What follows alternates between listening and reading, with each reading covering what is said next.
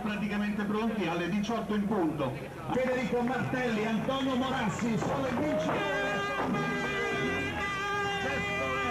La giornata si presentava con molte insidie visto il tanto fango.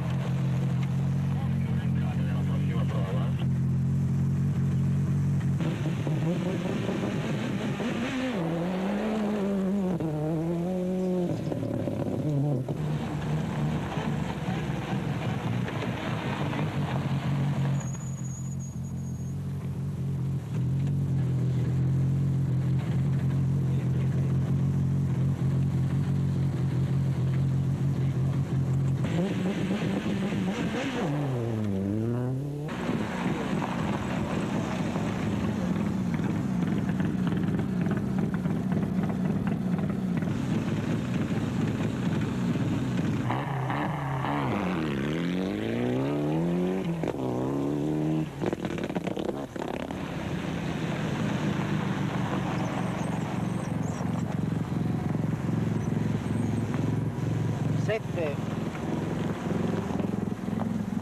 17 20